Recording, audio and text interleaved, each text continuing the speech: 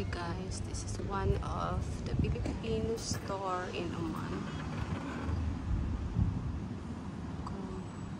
Stores Philippine Product. So we'll check it inside.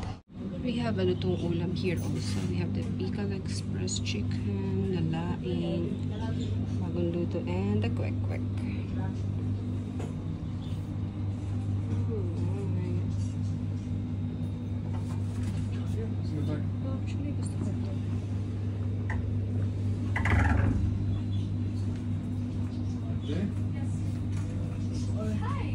Sauce and classic polvoron. And nagaraya. Different flavors of nagaraya. Of course, the greyhound, which is common here. Greyhound. And other products. Carnivore. And here we have more.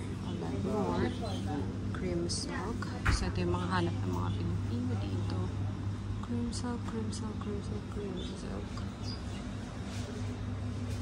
And alcohol, of course, to fight COVID.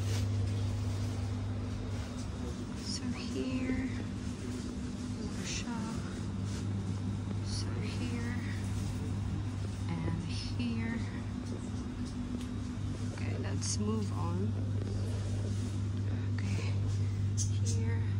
this just is our cheese, cheese, mayo, ladies' choice.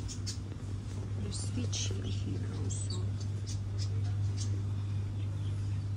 and of course the cup noodles coffee lovers, Milo, Ovaltine, and.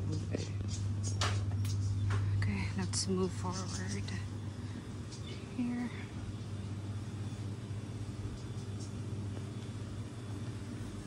Okay, na-miss namin itong mga to. Pancit Canton.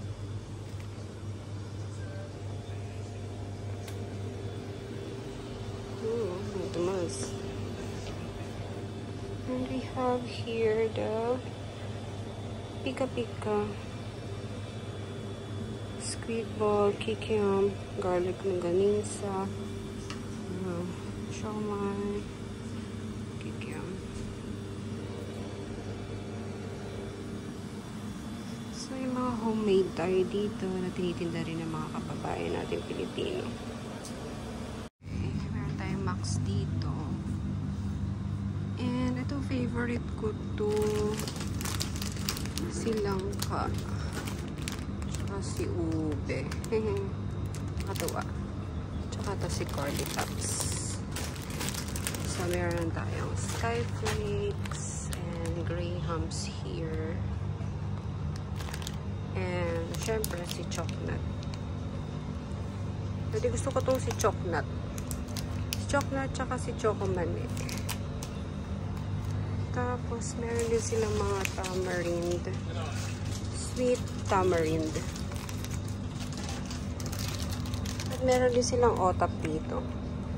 And look, we have cheese here. Meron din silang ube otap.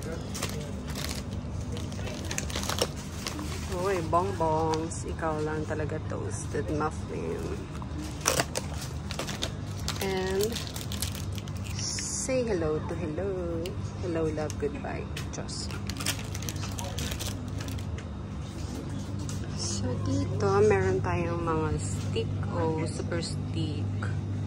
And the favorite stick o favorite ni Kyle. Different flavors, strawberry and ube.